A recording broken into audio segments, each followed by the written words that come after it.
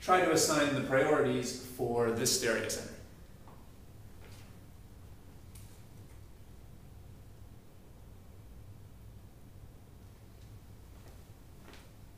I hope that you paused the video and gave that a shot, uh, and now we can go through it together.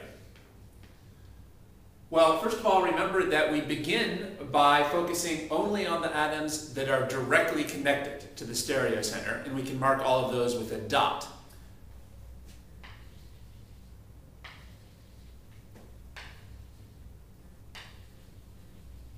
Those dots are just to remind us that those are the atoms that we are comparing right now, the four atoms that are directly connected to the stereo center.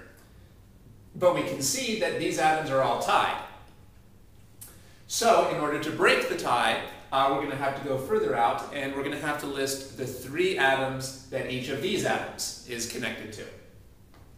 Well, let's start with the carbon on the right. What are the three atoms that this carbon on the right is connected to? Well, it's connected to a carbon and two hydrogens. A carbon and two hydrogens. Remember that we need to put the carbon at the top of the list because we always list the three atoms from best priority to lower priority. What are the three atoms that this bottom carbon is attached to? Well, it's also attached to a carbon and two hydrogens. Carbon and two hydrogens. What are the three atoms that the carbon on the left is attached to? It is also attached to a carbon and two hydrogens a carbon, and two hydrogens.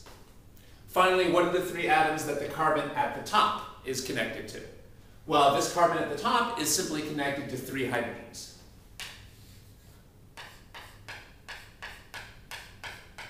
Hydrogen, hydrogen, hydrogen. Now, we look at those four lists and recall that we're going to be looking for the first point of difference between the lists. Well, the first point of difference occurs at the first atom in the list because here we have a carbon, here we have a carbon, here we have a carbon, but the first atom in this top list is a hydrogen. The first atom in this top list is a hydrogen, and that is uh, worse than the first atom in all the other lists. This hydrogen is beat by this carbon, carbon, and carbon. That means that this top substituent has the lowest priority, it's priority 4.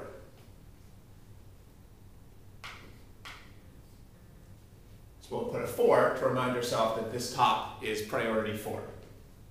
However, we are still tied between the other three substituents. Uh, on the right, we have carbon, hydrogen, hydrogen. On the bottom, we have carbon, hydrogen, hydrogen. And on the left, we have carbon, hydrogen, hydrogen.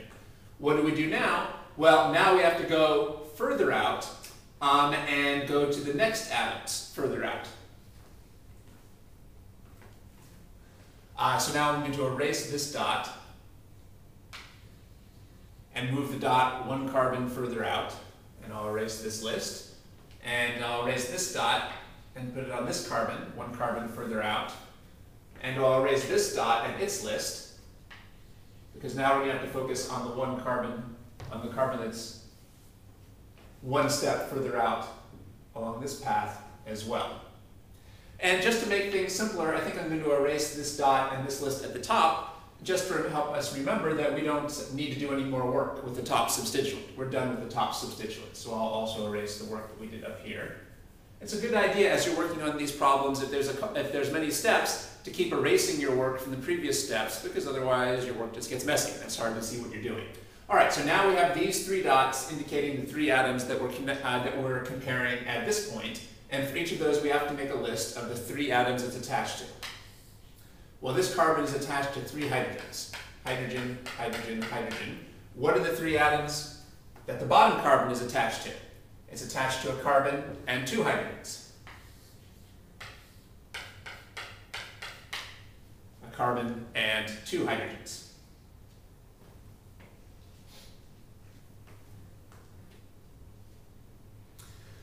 By the way, notice that as we make these lists, we are always writing three atoms that the dotted atom is attached to. That's the way this method works. We're always going to be able to list three atoms that the dotted atom is attached to.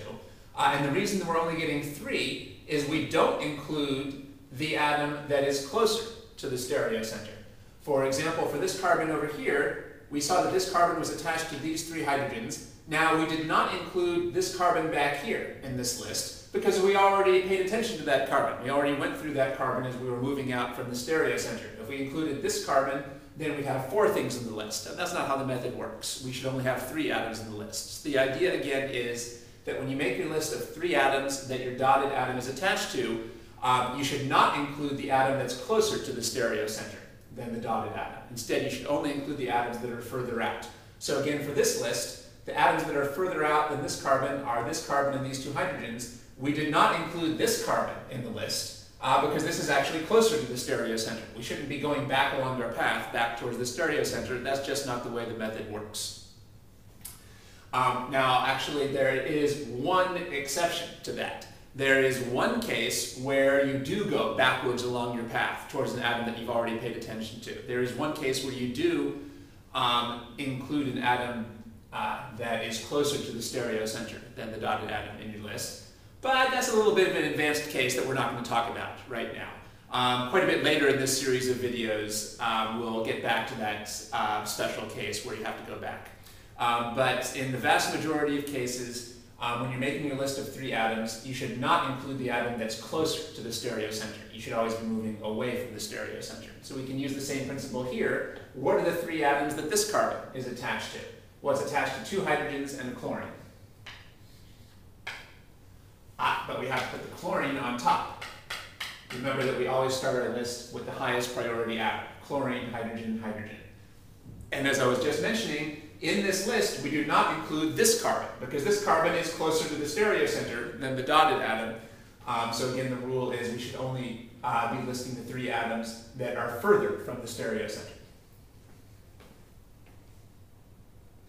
Now we look at these three lists and look for the first point of difference. Well, the first point of difference here is occurring at the first atoms in the list, because on the left, the first atom is a chlorine and that's better than either a carbon or a hydrogen. So this left-hand substituent must be the number one priority. Number one priority on the left, because chlorine beats carbon and hydrogen.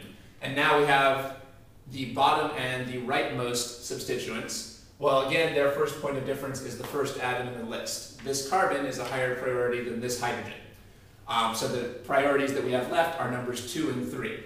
This must be the number two priority, and on the right, we must have the number three priority uh, because carbon beats hydrogen.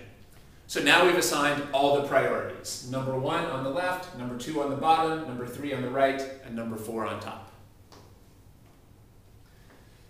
And again, the way that I've written this on the board is the type of notation that I would recommend that you use when you're first learning how to do these problems. Use a dot to indicate the atoms that you are comparing, and then if you have to move further out, move your dots further out so you can see again which atoms you're comparing.